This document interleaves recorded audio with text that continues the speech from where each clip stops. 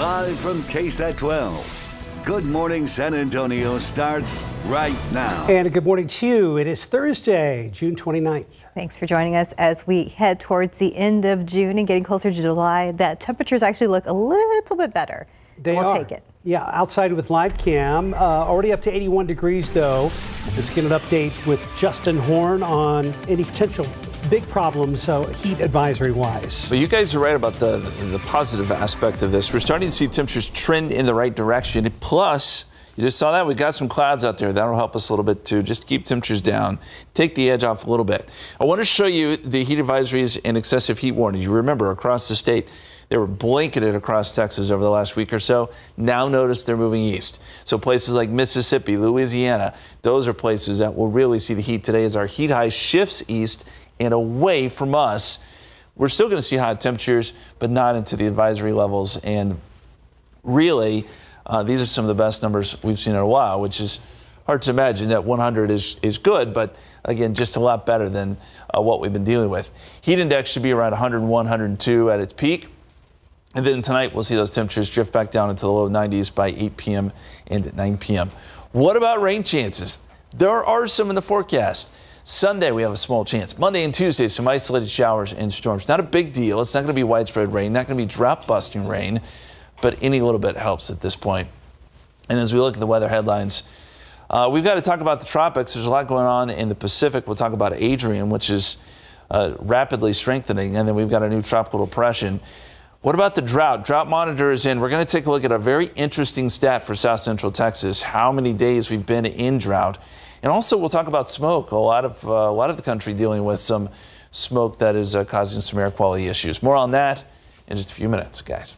Thank you, Justin. Looking out at the TransGuide camera out at I-35 in Von Ormy, it looks like this is I-35 at Fisher Road where there's an accident and you can see that things are slow moving. This is a south southbound lane? Yes, yes, yes. ma'am. And it's right now, the TxDOT website is showing uh, up to three lanes blocked right now. We have a number of disabled vehicles around town too right now, but this is our only accident. Again, this is 35 southbound in the Fisher Road area. It's listed on TransGuide as 35 at Von Ormy. That's right, and it happened about 15 minutes ago, so hopefully things will get cleared pretty soon. All right, and as far, do you guys want to pop up another camera? And then I ask, and that happens. 281 in Encino Rio, that's up on the north side, just outside Loop 1604. Traffic is looking fantastic right now. And again, let me see where some of these disabled vehicles are. We have one at I-10 and Fresno right now, and that's about it. Uh, the only other incident, let me redo a quick refresh for TxDOT website. Meanwhile, 1604 at Marbach Road looking good. Things are moving this morning. Most of these cameras on TransGuide are looking pretty good. Earlier, you saw a shot at 281 at St. Mary's where things are looking well as well. Okay, in your morning headlines, we could just see how fast a police officer reacted to that mall shooting up in Allen near Dallas and a guy just cleaning up a lab accidentally destroyed decades worth of important research. Another planet found, but not aliens yet. And Twiggy the skiing squirrel and a summer tour. David Sears is here. All right, a skiing squirrel. When's the last time you saw a skiing squirrel? It's been a while. I yeah. knew that was like a, a, kicker everywhere many, many, many years yeah, ago. Yeah, Twiggy's still around. Yeah. Aww. We'll show her to you in just a second, but first we're going to start with this. Body cam footage from a police officer in Allen, Texas in the mall parking lot, just having a casual conversation with a woman and her two kids about being safe in the car. Then all of a sudden, as they were wrapping up the conversation, shots fired, the woman grabs her kids. Police then grab a rifle from his car and then takes off towards the danger, chases the shooter, and then takes that suspect out. And here's how it sounded. Hey, make sure y'all be good, okay? And make sure you wear your seatbelts when mommy's driving, okay? You understand? Okay? Yes. Okay? All right. All right, you be good. Escuchate. and say always the seatbelt. wow. 145. I think we got shots fired at the outlet mall. They're moving further away from me. 145. I believe we got a mass shooter. I got Maxine on the ground. Drop it! Drop it! Ricky. I'm passing the injured. You don't see it there, but once again, that officer was able to take down the shooter who killed eight. The Allen police chief released the video so people could see how fast just a conversation with the family turned into a life and death situation for that officer. The video was shown to a grand jury, and they ruled that the shooting by the officer was justified. Uh oh. One flip of a switch in 20 years of very important research, gone. Happened at the Rensselaer Polytechnic Institute in upstate New York when a janitor shut off the electricity to a freezer, and now there's a lawsuit. The incident happened back in 2020. There were cell cultures and specimens being used in what the school considered groundbreaking research. The cells and specimens were kept in a freezer. The freezer was supposed to be around a minus 112 degrees, but for some reason the temperature rose. That set off the alarm and that made some very annoying sounds. The school says there was a written note that they were having an emergency, but the janitor turned off the electricity anyway. The school believes the janitor has special needs and they are not suing him. They are suing the company that hired him, claiming he was not properly trained and supervised.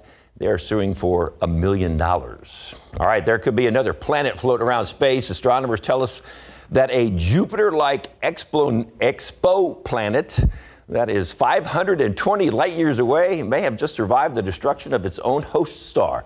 The discovery was made back in, they've named the hot gas planet Halla after the highest mountain in South Korea in honor of its discovery by Korean astronomers back in 2015. Now, a new study in the journal Nature Astronomers suggest that Halla may have survived the destruction of its host star, so it looks like the explo, expo, exoplanet. I can't even say what it is. That's just this astronomy thing. It burned through its supply of hydrogen. It's now burning helium at its core, so astronomers believe it once expanded into a giant red star and survived. Oh, how about this one? The system could have had two suns not little guys, but suns, like burning heat suns, they merged or collided. Something like that happened. All right, so you need a little chuckle for the day. Here it is. When's the last time you saw the water skiing squirrel? Twiggy just made a short stop in Rochester, Minnesota, showed off the skiing skills. This is how big time she's gotten. Her boat even has a sponsor now. Twiggy was rescued by Chuck and Luann Best back in 1978. Chuck has since passed away, but Luann keeps traveling with Twiggy, and now they have a new message boating safety. If you notice, look real close around Twiggy's neck is a life vest. So Twiggy is now the spokes animal for the National Safe Boating Council's Wear It campaign. By the way, Luann has trained eight squirrels Aww. to water ski, but I think she's retiring, has retired, so her son's going to take over the business. But yeah, this is not our first rodeo when it comes to water skiing squirrels. No. I knew there's a there's a fraternity of them. It goes mm-hmm. way back. but I like the fact the squirrel's got a message now. Yeah. Wear your life vest, a little yeah. life vest around the squirrel. S- right. Safety first, yes. and we're truly impressed if we see a water skiing squirrel that will slalom right? That's that's what we're hoping. Got to raise the bar. right. David, good to have you back on the nine. See you. 906, 81 degrees, still ahead on GMSA at 9. The five things you can do to make sure bed bugs don't follow you home while you travel. Good morning. It feels like we're at a robotics party. Check it out. All these students excited. They're part of the robotics summer camp here at Somerset ISD, and they just finished their final projects. The different skills students have learned this summer. Next. And we're back at just about 9:10. A summer camp at Somerset ISD is combining fun and teamwork with kids designing and programming robots. Tiffany Huertas joins us from Beretta Veterans Elementary School with the opportunities the camp is providing and what skills are taking students to the next level in robotics. Good morning. Good morning, Mark and Stephanie. Remember I told you just a moments ago that this was a party? This is why. Take a listen. Okay, I'm feeling it right now. so much fun. Just check it out. These students have been working on these projects. Their robots are on a mission today, and this is such a creative and innovative program. This morning we have Tabitha with the district. Good morning, and tell us a little bit more about what students have been learning at this summer camp. Good morning. Yes. Um, so students, they're learning all about our robotics. We do a first robotics competition. So they're learning all about teamwork. They're learning about how to code robots, all the way from incoming third graders to eighth graders. Um, they're also really working on an innovative project. This year, it's all about how do we include technology into the arts and how do we assist with our community with the arts as far as theater, drama, uh, all sorts of things. So if you see right here, these students, they're working on basic coding skills such as um, using their motors, using rotations, um, finding different sorts of attachments, right? So, and behind all of this is really our Python coding that leads to those career jobs in the technological field. And right here we have Adan joining us. Adan, tell me about this summer camp. Have you been having a lot of fun? Yes, it's been very fun. Tell me about your project. Um, do you want to know about the robot or the yeah, innovation? Both of them. Uh, I'll start with the robot. Well, this is the um, this is a Spike Prime robot. It uses a brain, and we use it for Bluetooth to connect to the. To oh my sorry. Wait, you can't see that right now. This is uh, secret, and. oh. So what he uh, did here is, um, as far as he, Don's an incoming eighth grader, he has a prototype of a 3D uh, printer that will work uh, to innovate skyscrapers. And I, when I asked Adon, okay, so there are some 3D printers out there that do tiny homes. What makes yours different? And he goes, Miss Slaughter, I'm going to use some flame retardant materials. I'm going to use materials that have shock absorbers, all of those things to make it different. And Adon, now that we have it going on, can you show us how it works? Um, the programming, it like this part is what makes it like to. This would make it go forward, and this would make it churn. And this part kind of is still a work in progress. It really doesn't work too much, but this is the program that we have right now. It churns. Wow, how amazing! Are you excited to continue learning about robotics this year? Yes. And now you're going to eighth grade, so that's a big deal. Yes. All right, well, thank you for joining us. We'll send it back to you. All right, Tiffany, thank you very much. Uh, we need to go to ABC News for a special report on the Supreme Court their decision saying they're going to set new limits on the use of race uh, when it pertains to a particular student must be part of their individual story and not simply uh, their identity. I want to bring in Terry Moran, who has covered the Supreme Court for years for us. Uh, Terry, this is a blow for Harvard and for UNC trying to defend their programs. Uh, again, the Supreme Court striking down their programs, but appearing to limit moving forward, saying race uh, can be a factor, but it has to be part of an individual student's biography, personal story, their narrative. That's it exactly, David. Uh, it's not just Harvard and the University of North Carolina that use the justification of diversity in the campus life and in the student body uh, as a way of reaching out and finding students that could contribute to that.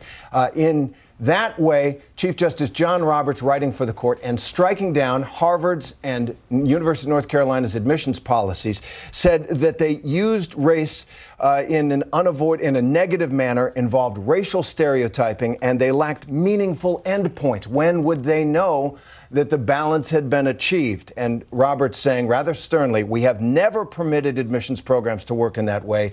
and we will not do so today.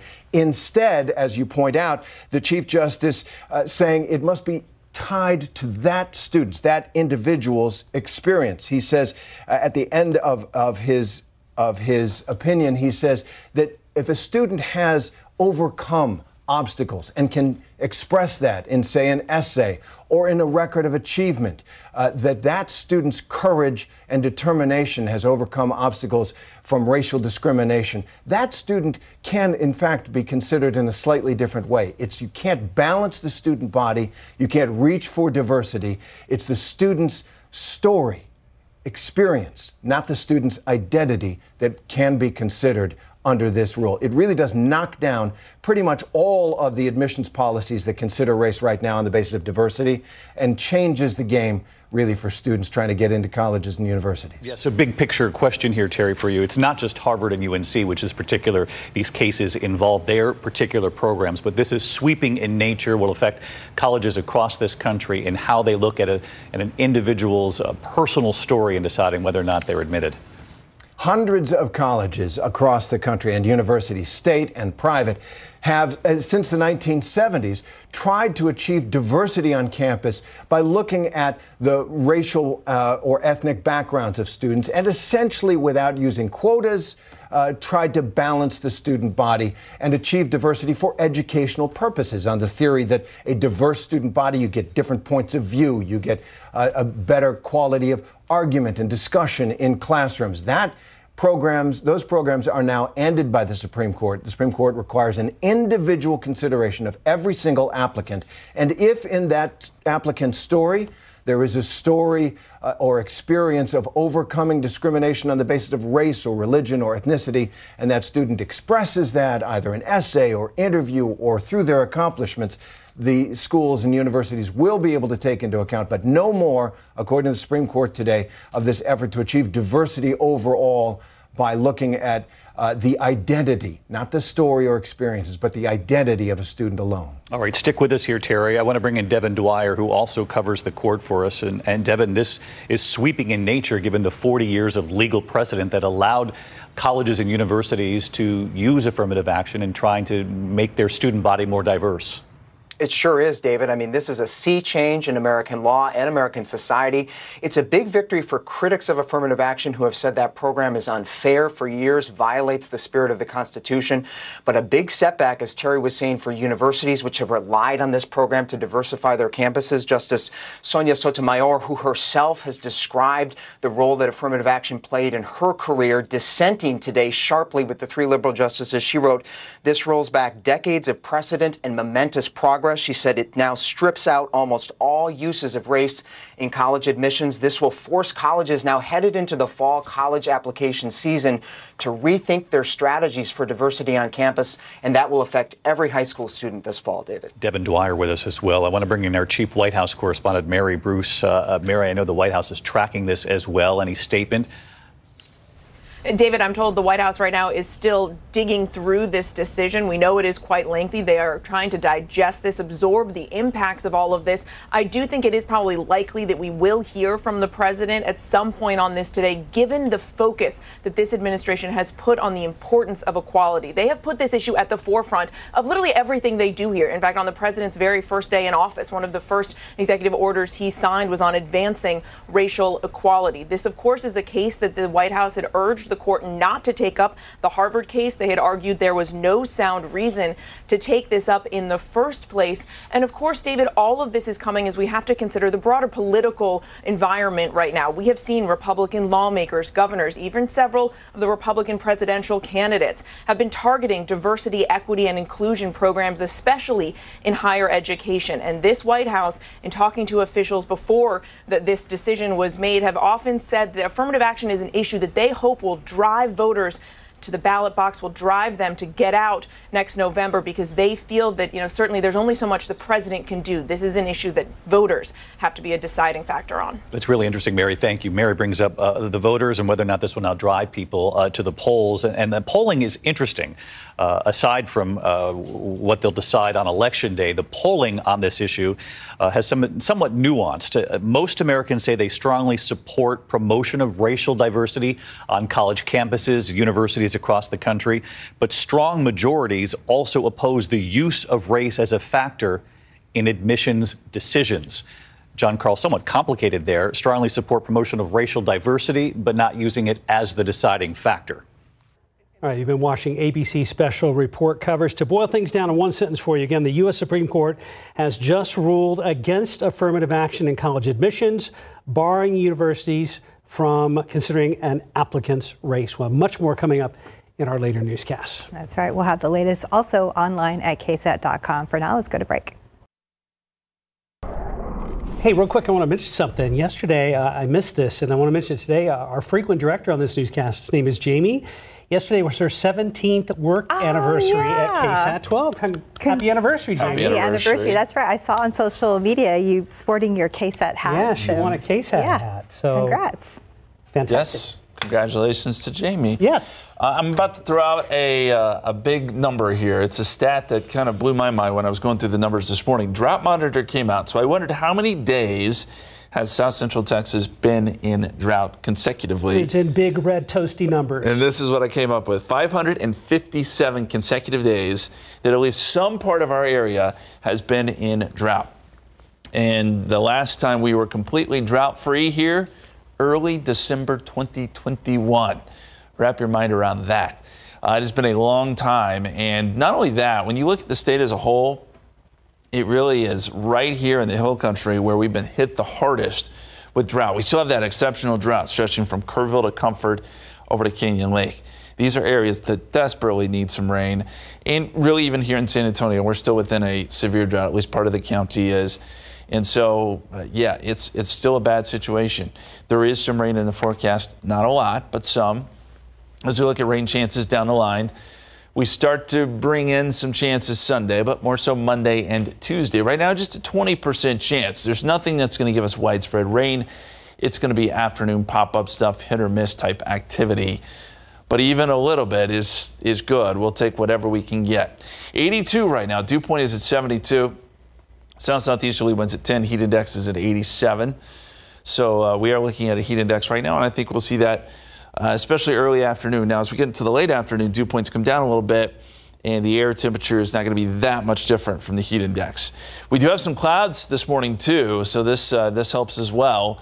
Uh, to keep temperatures down at least temporarily. We'll have some of these morning clouds around for next couple of hours before they go away. 78 in Kerrville, 82 in New Braunfels, 85 Gonzales, 84 down there in Cotulla, in low 80s here in San Antonio right now with partly to mostly cloudy skies. Temperatures by noontime 90. Then we start to add in the heat index. Could go as high as 102. It's the early afternoon. 101, 102 is probably where probably where we peak out as uh, with uh, the heat index. Uh, 100, the high temperature today at 5 p.m., and then down into the uh, 90s, low 90s by 9 p.m., and 87 by 10 p.m. There's our big heat high. It is shifting east and away from us. So the bigger numbers really today are uh, across parts of Louisiana and Mississippi. 103 in Shreveport today. It'll be 101 in Jackson. And they're going to be dealing with a lot of humidity too.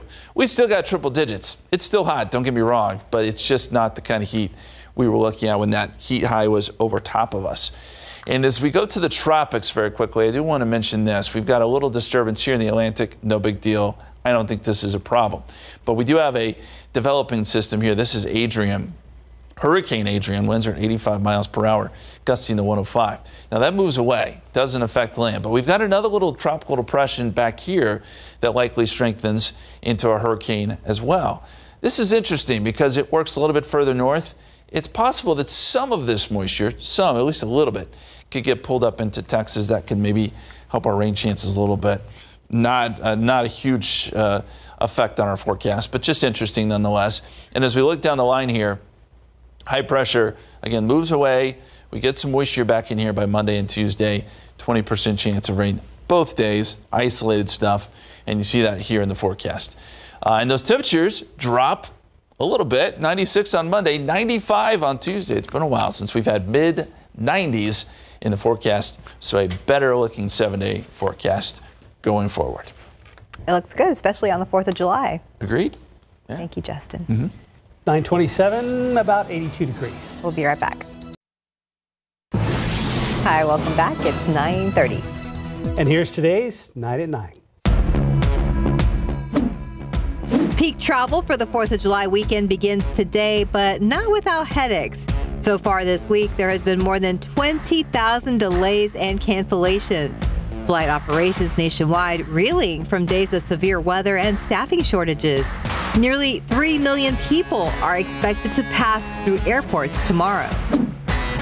More than 120 million people are under dangerous air quality alerts today. Smoke traveling from the Canadian wildfires is forcing people to stay indoors. As of last night, IQ Air says Chicago and Detroit have the worst air conditions worldwide. The Supreme Court expected to make a decision on President Biden's student loan forgiveness plan. The court will decide if the $400 billion plan is constitutional. The plan would forgive up to $20,000 in debt. If the court rules against it, there is a growing movement calling for a union of defiant borrowers who will stop making payments. The U.S. Coast Guard says presumed human remains have been recovered from the wreck of the Titan submersible. U.S. medical professionals will conduct a formal analysis of the remains as they sift through the debris collected from the ocean floor. The crew of five people on board are all believed to have been killed by an implosion. President Joe Biden announcing his vision for the growing economy, calling it Bidenomics. It stems from post pandemic recovery and highlights a strong job market and falling inflation. However, a CNN poll shows that 66% of Americans disapprove of the president's handling of the economy. Homeland Security Secretary Alejandro Mayorkas announcing a new leader for ICE. Patrick Lechleitner will now serve as the acting director. Lechleitner previously led Homeland Security investigations. ICE has not had a Senate confirmed director since the Obama administration. Madonna is postponing her world tour after spending several days in intensive care. According to the star's manager, Madonna developed a serious bacterial infection last Saturday. She is improving and is expected to make a full recovery. The tour was initially scheduled to kick off on July 15th in Vancouver, Canada. Bed Bath & Beyond will live on. Overstock.com has finalized its $21 million purchase of the intellectual property of the bankrupt retail chain, including its website and domain names. Overstock plans to relaunch the online store within the next few weeks. You may want to stock up on Forever stamps. The price for first class stamps is jumping on July 9th from 63 cents to 66. Postcards will cost 51 cents to mail, and the post office blames inflation for the need to boost prices. And that's today's 9 at 9. Well, one of the main runways at Charlotte Douglas International Airport in North Carolina has reopened after a Delta flight's emergency landing forced it to be closed for at least 12 hours. The Atlanta based carrier says this is a rare occurrence, and the flight crews trained extensively to safely manage situations like this one. John Lawrence reports. Delta Flight 1092 left Atlanta Wednesday morning and arrived in Charlotte roughly 90 minutes later. But the landing was anything but normal. Casual evacuation. The 96 passengers on board heard the words people don't want to hear while on a plane. Come this way, leave everything, jump and slide. We. According to a statement from Delta, the plane's nose gear didn't go down, forcing an emergency landing. There was some smoke in the cabin, so that was a little concerning. Uh, but the flight attendants did well. Uh, the pilot came on with his instructions that we would be exiting, and so we all exited safely. No injuries were reported, but some passengers were understandably shaken. Palms are sweating. I grabbed my phone, tried to text my wife, tell her I love her. Just a really scary situation. This is just another headache for the overall airline industry, which hasn't been soaring well over the past few days. We had hit with some pretty tough weather. It's affected a lot of flights. Uh, I reached my hotel room about 2:30 in the morning last night after my flight got canceled and the next one got delayed. A lot of Americans are going through the same thing. And AAA forecasts nearly 4.2 million people will be traveling by air for the July 4th holiday. I'm John Lawrence reporting. By the way, AAA says 50.7 million Americans will travel at least 50 miles or more from home this upcoming holiday weekend, which would set a July 4th record. And taking a look right now at flysanantonio.com, we are not seeing any cancellations, and most flights appear to be on time, but there have been a few delays, so it's always best to check your flight status before heading to the airport. Outside with live cam as someone who has flown quite a bit in the last couple of weeks. Airports are packed, planes are packed, and it'll be like that for weeks to come as we head into the heart of the summer travel season. Justin Horn, good morning to you, sir. Yeah, we can only hope the weather cooperates a little bit better. I know that's part of the problem, and we've had a lot of severe weather around the country, but th things are getting better. It's a little less active today, and certainly not active here in South Texas. It's very, very quiet, other than we've got some morning clouds that are trying to drift through. Uh, we'll continue to see some cloud cover here over the next couple of hours before these clouds go away. But you can see that, uh, yeah, we've got some cloud streets setting up there, and it's 82 right now in San Antonio, 70s in the Hill Country, 77 Rock Springs, 78 right now in Del Rio, and the low 80s for the most part here around Bexar County. Heat index, a different story. We've still got some pretty thick humidity, at least at the moment, so that pushes temperatures to the uh, near 90 for the feels like number down there at Stinson and Pleasanton. Gonzales already has a heat index of 95. Uh, we'll see heat indices there well over 100. The KSAT 12 hour forecast look for 93 at 1 o'clock. We'll be up around 100 this afternoon. Heat index probably around 100, 102. Uh, so even a little bit better than yesterday. And then by tonight, back down into the 80s. Better temperatures ahead. Uh, we'll look at that, plus the smoke that's going on across the rest of the country. More on that in just a few minutes. Thank you, Justin. Looking at the roads with TransGuide earlier, we were showing you an accident here on this camera. This is I-35 at Von Ormy, and it was actually at Fisher Road, but it looks like it has cleared, so traffic is moving in both directions. And as the summer travel season kicks into high gear, industry experts are warning travelers to keep an eye out for bed bugs. So how do you spot and prevent bed bugs and keep them from coming home with you? Patrick Cornell has five tips to tell you about. Keep unwanted guests from ruining your summer vacay. As a potentially record number of Americans travel this summer, one expert warns that a very unwelcome pest is multiplying this season. We're definitely seeing bed bugs spread again. Uh, most experts will tell you they expect numbers to get back to where they were pre COVID eventually. Bed bugs are not known to spread infectious diseases to humans, but the bites can cause severe skin reactions that itch. Entomologist Jeffrey White, and owner of White Mantis Consultants, has these tips to spot a major infestation. One, inspect the room. Check mattress seams, headboard, and the box spring for tiny brownish red stains or live bugs. No matter how, you know, expensive a hotel may be, you can potentially encounter bed bugs. We've seen bed bugs in five-star hotels that can cost more than a $1,000 a night type stuff. Two, keep your luggage elevated. Put it on a desk or bathroom counter to minimize the chances of bugs crawling into your belongings. Anytime you can keep any personal belongings away from the bed, uh, that's always a good step. Three, use plastic bags to store your dirty clothes and avoid bugs from hitching a ride home. Four, once you get home, isolate your luggage and inspect it. And five, wash clothes in hot water and dry them on high heat. It's all about what you do when you return home. For Consumer Watch, I'm Patrick Cornell. Well, there's something fun to think about. Uh, no, not at all. Oh boy, 938, 83 degrees. You're watching GMSA at 9. And coming up, the percentage of minorities less likely to get CPR help when they're struggling with heat related illnesses. As we head to break, here's another look at some activities going on at public libraries around the Alamo City. There will be a family Pokemon party happening at Cody Branch Library from 2 to 4 p.m. And then from 3 to 4 at Tobin Branch Library, kids 5 and older can practice reading aloud to a therapy dog, which we just adore. Aww. We'll look at all the events scheduled for today at different public libraries around San Antonio. Just head to the KSAT Kids section of our website at ksat.com. We'll be back. And welcome back. It's 942. So VIA says it is listening to neighbors' concerns about redeveloping the Scobey complex. So this is a property near downtown that VIA owns, and it wants to turn it into a mixed-use space with some affordable housing.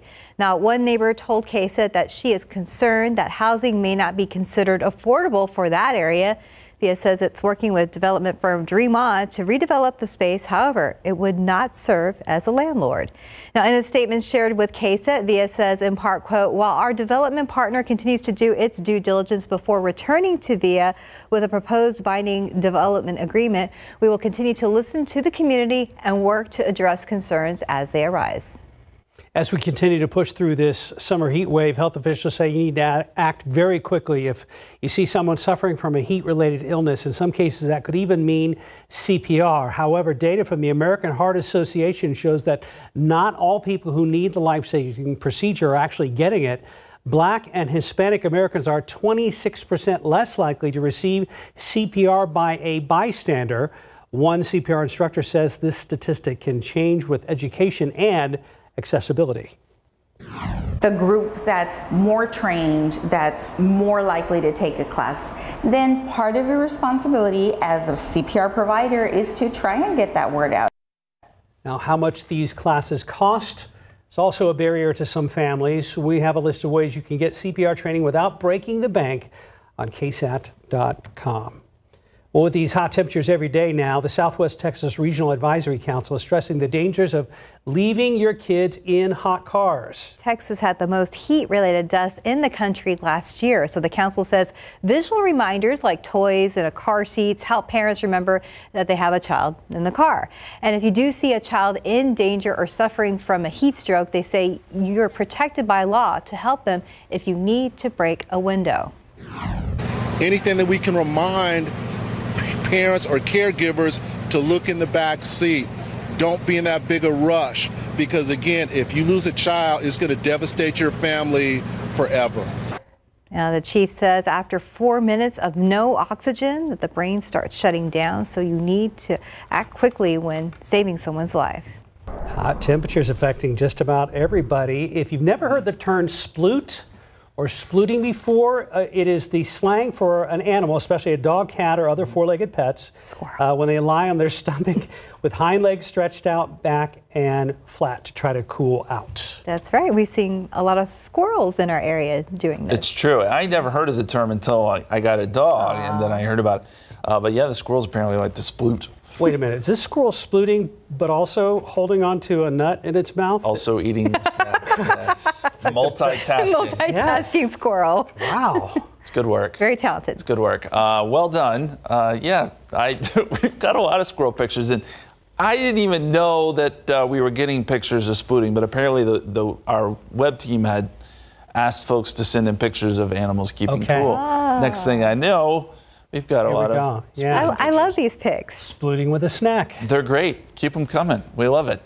Uh, we got to find ways to stay cool. And you know what? Up across the north, they're really dealing with a lot of smoke. It's been a big, big issue up there. Air quality has been bad today. As we fast forward to 5 o'clock, there's still going to be a lot of smoke. Now, this is all coming down from those Canadian wildfires. We talked about this before, uh, but it has been really bad this year. Worst it's ever been, and the smoke has been funneling down into parts of Michigan today. It'll move into Ohio, uh, parts of the Northeast. So there will be some big time air quality issues up there. Uh, this should dissipate some as we get into tomorrow, although it moves up into parts of New England and Maine, where they're going to get some bad air quality coming up tomorrow. We don't have to deal with this. That smoke is not making it down here. Uh, so our, our, our, our air quality, if I can say that, uh, is uh, is okay. Uh, we just have that big ridge of high pressure that is sitting off to our east and starting to move away. Starting to weaken some, starting to move away, and uh, that's helping with our temperatures. Uh, around 100 here today in San Antonio, 102 Abilene, 103 in Dallas. So it's still hot, right? But the hotter temperatures are going to be uh, to our east. Shreveport, Little Rock, Jackson, all these places will be seeing triple digits on top of some very, very thick humidity. So the heat index values will be pretty rough there. For us, uh, we're forecasting around 100 around 5 o'clock today. 99 Canyon Lake, 99 in Kerrville. There will be some places today that stay below 100, which is uh, great to see. Still, places like Carrizo Springs, though, may get up above 105 this afternoon. As we go outside for you, uh, partly cloudy skies, 82 at the airport, 82 at Stinson, 81 at Kelly and Randolph. We've got southerly winds right now and some morning clouds. Uh, these shouldn't last all that long. The sun's still shining through, but we'll see partly cloudy conditions for another couple of hours. 80 in Kerrville, 79 Hondo, 81 out in Del Rio. And by the way, Del Rio tied a record again yesterday, so 11 days in a row of record-setting heat. I don't think they do it today. This should stay below the record as that heat high moves away. So finally an end to just some wild numbers out there in Del Rio. 81 Canyon Lake, 82 right now in New Braunfels. And there you see the dew points in the low to mid 70s. So the air is still pretty thick right now. The dew points do come down like yesterday in the afternoon. So the feels like number doesn't get too out of control. I think around 100 is our air temperature at 5 o'clock, but it'll feel like 101. We lose the heat index by 8, 9 o'clock as temperatures fall, and we still get a good southeasterly wind. So what lies ahead?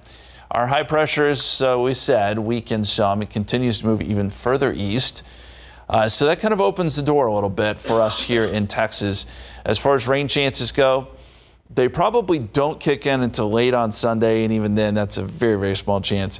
A little better chance on Monday and Tuesday. Right now, 20% chance, and it's just going to be some pop up, isolated stuff, not widespread. Uh, but if we can get just even a little bit of rain around here, uh, that would be good. And at least it helps temperatures some too. Uh, that brings us back down into the mid 90s for July 4th, for Independence Day. Not as hot, and maybe a shower or storm if you're worried about your outdoor plans. I think you'll be just fine. Anything we see should be uh, isolated, and I think uh, most everybody will be uh, able to celebrate just fine. That's great. We'll take not as hot. That's good news here. That's it, about as good as we're going to get right now, anyway. Thank you, Justin. Just about 10 till 83 degrees. And coming up, 2023 LSU basketball champion Alexis Morris is San Antonio holding a camp, which she hopes kids are able to learn from her. That's coming up after the break. Former LSU guard and 2023 national champ Alexis Morris held a basketball skills camp yesterday at St. George Maronite Gym. She calls it the camp with the champ tour. Morris drafted in the second round by the Connecticut Sun in the 2023 WNBA draft, but was waived during training camp. And she hopes the kids learn a lot from her camp. They need to walk out of here with something that they learned from camp, basketball related, um, teamwork, learning about teamwork, how to work hard, how to communicate effectively.